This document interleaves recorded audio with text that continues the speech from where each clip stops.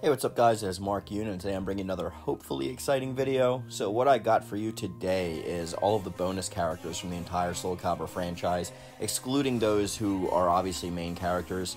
So even though in uh, Soul Calibur 2 we have Lizard Man, for example, um, he would go on to become Aeon, so I'm not going to include him. And the same thing goes in Soul Calibur 3, where they have uh, bonus characters for Hwang, Li Long, and Amy um, because those are all mainstay characters. So, but we're to cover everybody else, and then if you stay tuned till the end, I'm going to tell you my top three, um, if you're at all interested in that. So, um, we're to get started right away with Soul Calibur 2, because obviously there was no bonus characters in Soul Edge or Soul Calibur 1, otherwise known as Soul Calibur. so, what we have is the first character that is on this list is Assassin. So, uh, Assassin has showed up in a few games. They have showed up in Soul Calibur 2, Soul Calibur Legends, and Soul Calibur 3. Um, in Soul Calibur 2 and Soul Calibur Legends, they were using the Chinese sword, and in Soul Calibur Legends, in Soul Calibur 3, they were using the kunai. Um, obviously, a lot of the characters from Soul Calibur 3 that I'm going to be mentioning are those that are showing up in Chronicles of the Sword.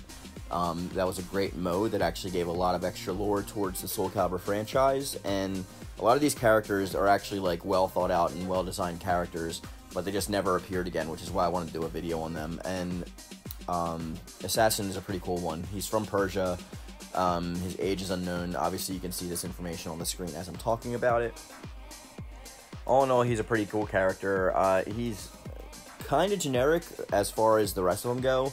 Uh, I think Soul Calibur 2 didn't, when they were introducing these bonus characters, uh, didn't know what it would become. So when we get to that, obviously, we're going to go over it. The second one from Soul Calibur 2 is the Berserker. Now, he is another one who also shows up in multiple games. Um, he is from the Holy Roman Empire, or this character. And he's actually, like, taller than Astaroth. So, he's, you know, pretty big. And uh, the weapon that he uses in Soul Calibur 2 is an axe. In Soul Calibur 3, he uses a lance, and in Soul Calibur Legends, he uses a mace.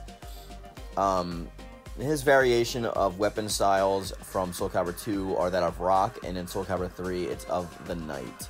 Uh, which obviously in Soul Calibur 3, we're, we're going to get into, they have um, different classifications for their for their weapon styles. It's not just like based on the weapon style itself, because you know there's classes in Soul Calibur 3, so you choose a class and you have a whole array of weapons that are available to you, such as if you chose um, Assassin, you can use like Dagger and Bomb or like Kunai and stuff like that. So, um, just with that example out of the way, we're going to move on.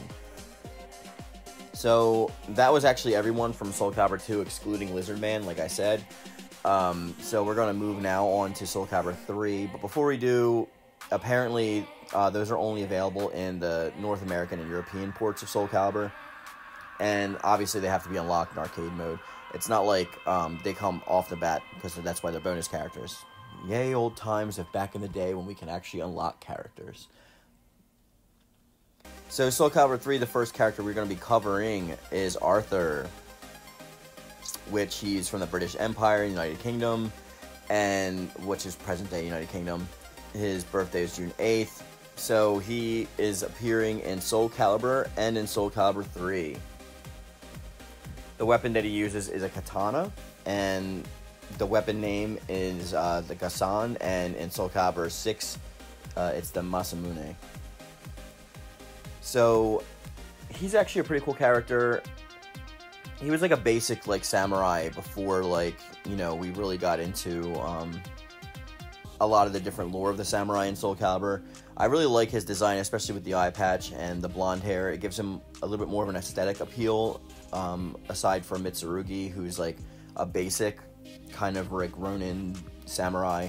So I actually really dug him, and uh, I know a lot of other people have too. They mentioned on my videos before. Can't spend too much time on all of these because there's a lot, so I don't want this video to be like a half an hour long. Uh, so we're gonna move on.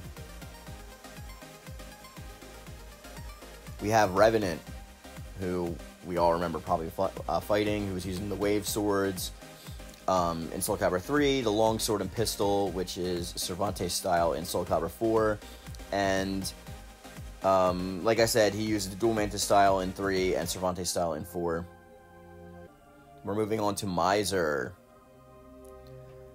Miser is a cool looking um, girl character, and she uses the katana and shuriken in Soul Calibur 3, which is still my favorite weapon style of all time in all of Soul Calibur, and I really wish it would come back. The katana in Soul Calibur Broken Destiny and Soul Calibur uh, 6. And in uh, if we mention Soul Calibur 6, the majority of these are probably going to be in Libra of Souls mode. Similarly with the Chronicles of the Sword mode, it added a lot of extra lore. A lot of you guys already actually know this. More, most of this information I'm covering is for new people on my channel, so bear with me if I cover things that I've covered before. Then we are followed up with Greed. Greed uses the dual kunai, and um, both of those are actually in Soul Calibur 3 and in Broken Destiny. He just used different variations of those weapons. Abelia, which is one of my favorite characters from Chronicles of the Sword. Uh, her full name is Abelia Shilfet, and she is from the Grandal Empire. She uses a broadsword and a small shield, and the weapon is the Eternal Rest. Then we have Girardot, which is our favorite mentor from Chronicles of the Sword, who referred to us lovingly as his baby birds. We all know that he is from the Grandal Empire as well, and he uses a lance. We have another fan favorite, which is Chester. And Chester used a dagger, which was the thief style in Soul Calibur 3. Then we have Demuth. Demuth is from the Haltese Republic, and he uses a steel fan. We have Aurelia, which I believe was the she was married to the Dalkin King. I don't quote me on that. I'm not. I don't remember. Um, but she is from the Dalkia Kingdom, so I think she is the the mistress or the the ex wife, I guess you would say, of uh, the Dalkia King. Um, she uses the chain sickle, and the weapon is the Black Widow. Following that, we have Luna, and Luna uses the Chinese blade known as Dystopia.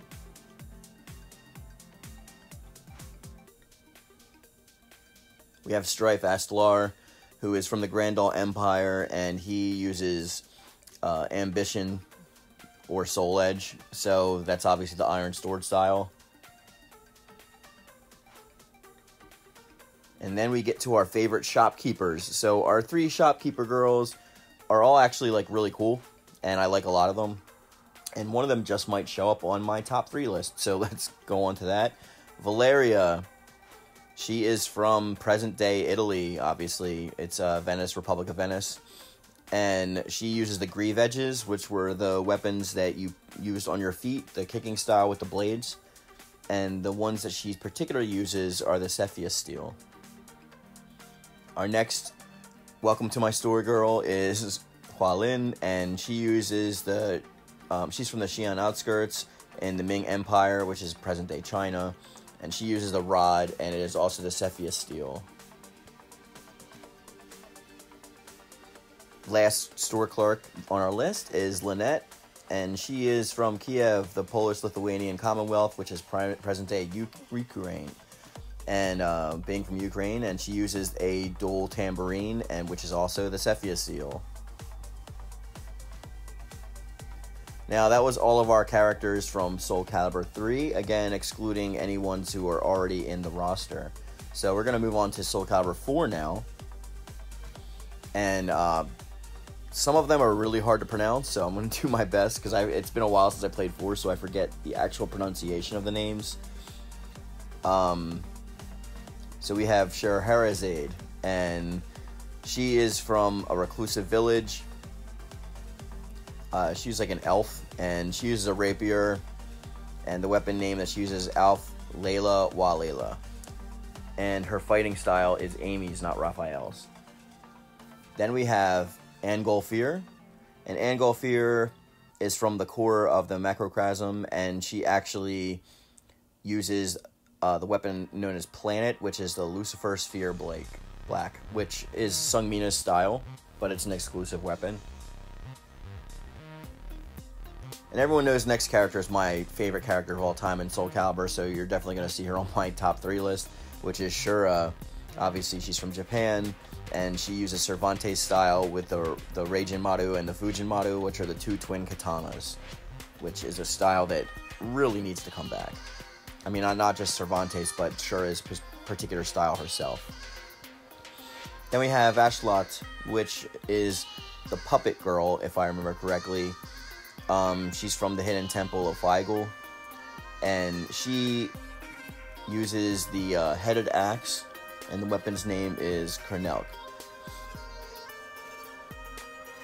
And then we have, not to be un- outdid by her uh, brethren in arms, we have Kamakiri Musi, which uh, is also from Japan, and she's kind of like an Oni character, and her weapon style is Kanabo, and she the name of the weapon is the Denryo Bakwa, and she uses Nightmare style.